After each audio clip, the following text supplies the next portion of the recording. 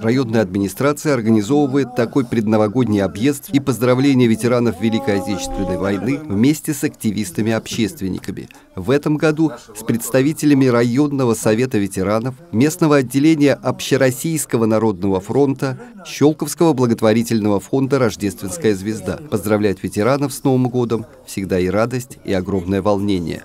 Хочу пожелать ветеранам крепкого здоровья, счастья и хорошего настроения чтобы все-все у них было хорошо, и они нас радовали и показывали нам такой пример жизни, стойкости. Каждому э, человеку приятно получить поздравления. И самое главное, когда есть радостное настроение, радость, это надежда на будущее.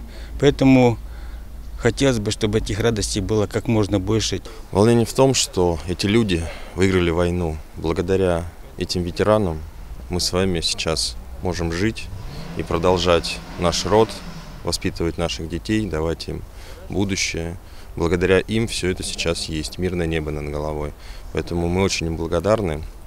И сегодня благотворительный фонд «Рождественская звезда» совместно с Советом ветеранов Щелковского муниципального района при поддержке администрации Щелковского муниципального района присоединился к акции Общероссийского народного фронта «Чудо-елочка», который как раз поздравляет все социальные группы населения, в том числе ветеранов Великой Отечественной войны.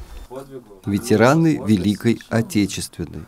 Их соседи о них говорят проще. А вы к нашему, и дальше идет имя, иногда даже и без отчества, несмотря на возраст. Их здесь очень хорошо знают и очень уважают. Заходя в квартиру, где они проживают, когда видишь их самих, рассматриваешь старые фотографии, о них, умудренных опытом и годами, им всем уже за 90, всегда думаешь с особым чувством. Их судьбы очень разные, как и у всех людей, но одновременно и очень похожие. Есть в них великое объединяющее решающее начало. В их жизни главным событием была великая победа над самым страшным врагом, какой только когда-либо был у России. Они все победители. Это их главное звание.